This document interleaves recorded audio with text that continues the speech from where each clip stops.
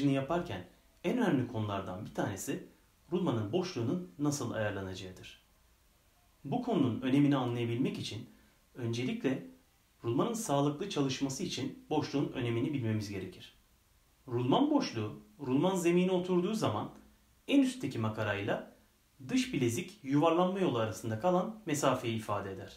Rulman tiplerini incelediğimiz zaman boşluğun bizim tarafımızdan ölçülerek ayarlandığı ya da önceden ölçülerek sınıflandırılan iki farklı ürün grubu olduğunu görüyoruz. Videoda anlatacağımız konu önceden ölçülmüş ve sınıflandırılmış bir boşluk grubuna ait rulmanların konik bir mil veya manşon üzerine montajlanırken rulman boşluğunun nasıl ayarlanacağıdır. Bu alanda en yaygın olarak karşımıza çıkan ürün grubu konik delikli oynak makaralı ürün grubudur. Bu rulmanlar demir çelik, enerji, kağıt endüstrisi, çimento gibi ağır endüstrilerin yanı sıra genel endüstride de oldukça yaygın olarak kullanılmaktadır. 13 yıllık meslek hayatım içerisinde bu rulmanların kulaktan dolma bilgilerle yanlış olarak montajlandığını ve bu sebeple de rulmanların olması gerekenden çok daha önce arızalandığına şahit oldum. Ve bu sebeple de bu videoyu çekmeye karar verdim. Oynak makaralı rulmanlar dizaynları sebebiyle boşluksuz çalışamazlar ya da farklı bir deyişle söyleyecek olursak yeteri kadar boşluk olmazsa bu rulmanların içerisinde rulmanlar ömürlerini beklenenden çok daha çabuk, çok daha hızlı tüketeceklerdir. Bu noktada boşluk kavramının da aslında birkaç kademeden oluştuğunu ifade etmemiz gerekir. Burada boşluksuz çalışamaz derken bahsettiğimiz boşluk çalışma boşluğudur.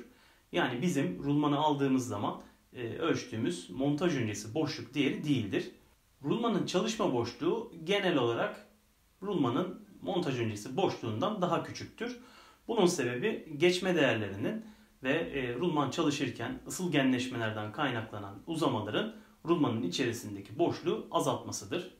İşte makine imalatçılarının bu noktada rulman seçimlerini yaparken sıkı geçmeler ve ısıl genleşmelerden kaynaklı boşluk azalmasını hesaba katarak uygun montaj öncesi boşluğa karar vermeleri gerekir. Bu rulmanlar konik mil üzerine direkt ya da silindirik mil üzerine manşon vasıtasıyla montajlanırlar. Bu aşamada montajı yapan kişi rulmanı iç bileziğini konik yüzey üzerinde ne kadar ittirirse rulmanın montaj öncesi boşluk değerlerinde o kadar azalma meydana gelir. Rulmanları konik mil ya da manşon üzerinde sağlıklı bir şekilde ilerletebilmek için hidrolik veya mekanik somunlardan faydalanmaktayız. Yani istediğimiz boşluğa gelene kadar somunu sıkmakta, ayarımız tamamlandığında sıkma işlemini bitirmekteyiz.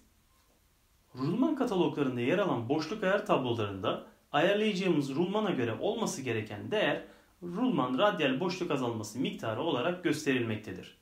Normalde yapılması gereken önce rulmanın montaj öncesi boşluk değerinin ölçülmesi, daha sonra rulman radyal boşluk değeri azalması miktarının boşluk öncesi değerden çıkartılması, rulmanın boşluk değerinin bu değer aralığına ulaştığında da sıkma işleminin bitirilmesidir.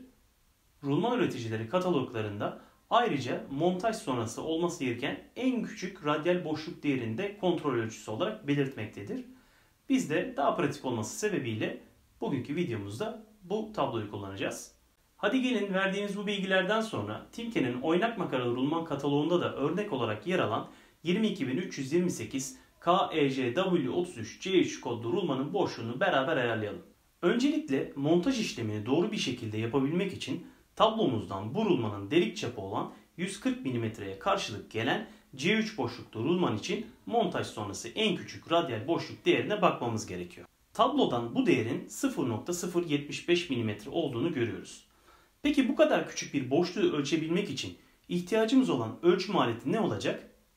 Tabii ki rulman sentil çakısı. Rulman sentil çakıları 0.2 mm ile 0.03 mm arasındaki boşlukları ölçebilmemizi sağlıyor.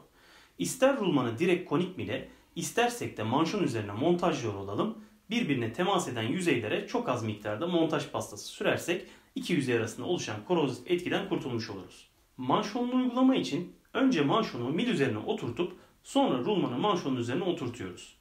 Somunu takıp el ile boşluğunu alıyoruz. Yani somun rulman iç bileziğine temas edene kadar sıkıyoruz. İşte bu aşamadan sonra yapacaklarımız rulmanın sağlıklı çalışabilmesi için hayati önem taşıyor.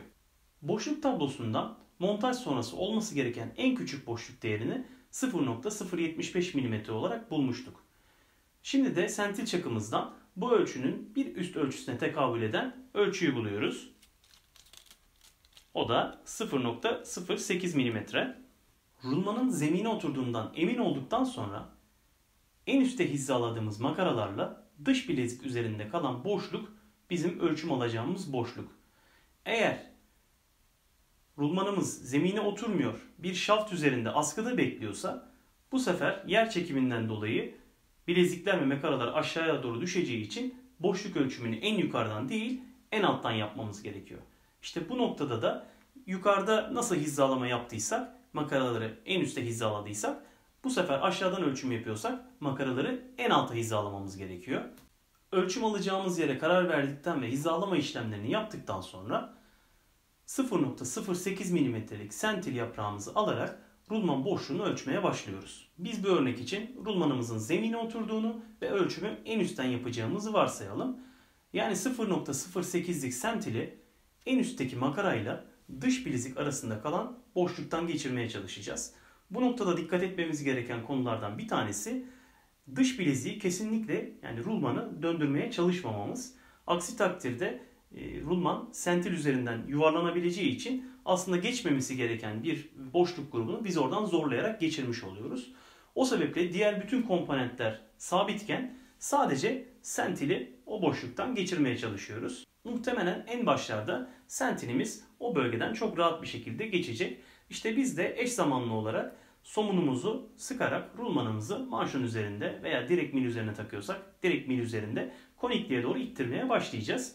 Ve bu işlemi yaparken de sürekli olarak boşluğun kontrolünü gerçekleştireceğiz. Bu öyle bir noktaya gelecek ki artık 0.08'lik sentilimizin yaprağı o bölgeden geçmeyecek ve takılmaya başlayacak. İşte o zaman ne yapacağız? O zaman da sentilimizde bir alt ölçü olan 0.07'yi bulacağız. 0.07'lik sentil yaprağımızı dış bilezikle makara arasından tekrar geçirdiğimizde eğer rahat bir şekilde geçiyorsa o zaman işlemi tamamlayabiliriz anlamına geliyor. Bizim istediğimiz ölçü neydi? 0.075 mm idi. Biz ne yapmış olduk? 0.08 mm'lik sentinin geçmeyeceği, 0.07 mm'lik sentilin de rahat bir şekilde geçileceği boşluk ayarını ayarlamış olduk. Peki 0.07'lik sentilimiz o bölgeden geçmezse ne olacak? Bu şu anlama geliyor. Somunumuzu fazla sıktığımızı ve rulmanı çok fazla konikliğe doğru ittirdiğimizi bu sebeple de rulmanın boşluğunun 0.07'den daha düşük bir ölçüye ulaştığını gösteriyor. İşte o noktada rulmanı çalıştırmak yapacağımız en büyük hatalardan bir tanesi olur. İşlemi tekrarlamamız gerekiyor. Rulmanı sökeceğiz manşon üzerinden ve tekrar aynı şekilde 0.08'lik sentil yaprağını bularak kontrollü bir şekilde sıkma işlemini gerçekleştireceğiz. 0.07'nin geçtiği, 0.08'in geçmediği uygun boşlukta da işlemimizi tamamlayacağız. Rulman boşluklarının olması gerekenden daha büyük veya olması gerekenden daha küçük ayarlanması performanslarını direkt etkilediği için bizlerin bu konuya azami önem göstermemiz gerekiyor. Aksi takdirde aldığımız kaliteli bir rulman çok daha düşük performans verebilir.